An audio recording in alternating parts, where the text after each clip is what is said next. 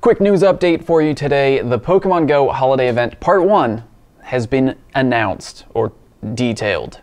Trainers, it's the season of cheer for Pokemon and trainers alike. Some new and familiar Pokemon faces are joining in the fun. Here's what's going on from Thursday, December 15th at 10 a.m. until Friday, December 23rd at 10 a.m. local time. Mega Glalie will make its Pokemon Go debut.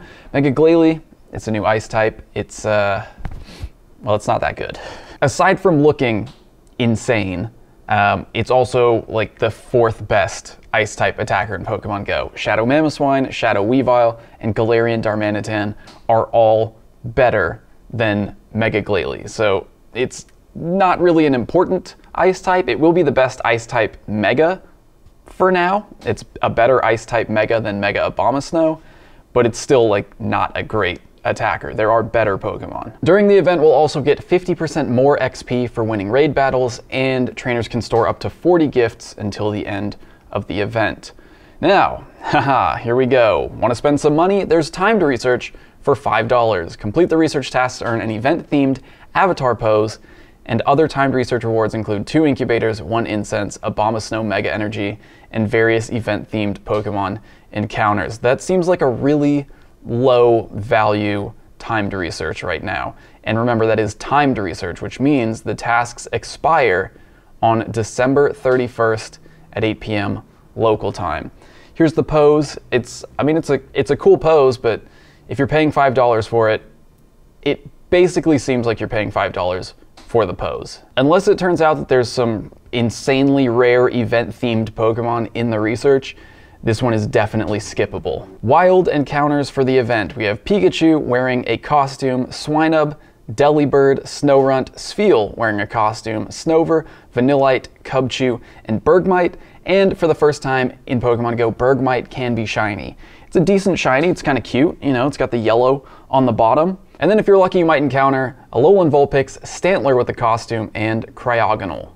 In 7 kilometer eggs during the event, Sneasel, Smoochum, Amaura, Bergmite, and Crabrawler. In raids, in one-star raids, we have Pikachu with the costume, Alolan Vulpix, Spheal with the costume, Galarian Darumaka, and Bergmite.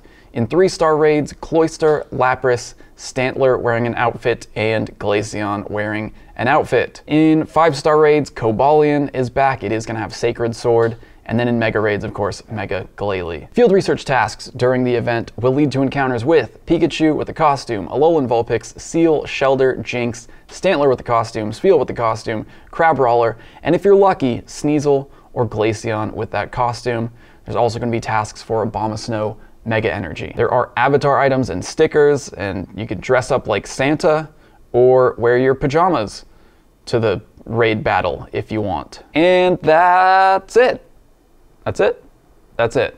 I don't know. I was kind of expecting more. It is only part one. There is a part two to the, to the holiday event, so hopefully part two is a little bit more exciting. Um, Mega Glalie, not all that important. The timed research seems like not a good investment. Um, shiny Bergmite, new shiny, decent shiny. Uh, lots of reused costumes from previous holiday events, so if you're missing those and you really want them, now's a good time to go after them, but that's that's about it. I don't know. Let me know what you think down in the comments. If you haven't seen it already, check out this video from the Keldeo special research over the weekend. And uh, yeah, happy holiday event in Pokemon Go. Bye.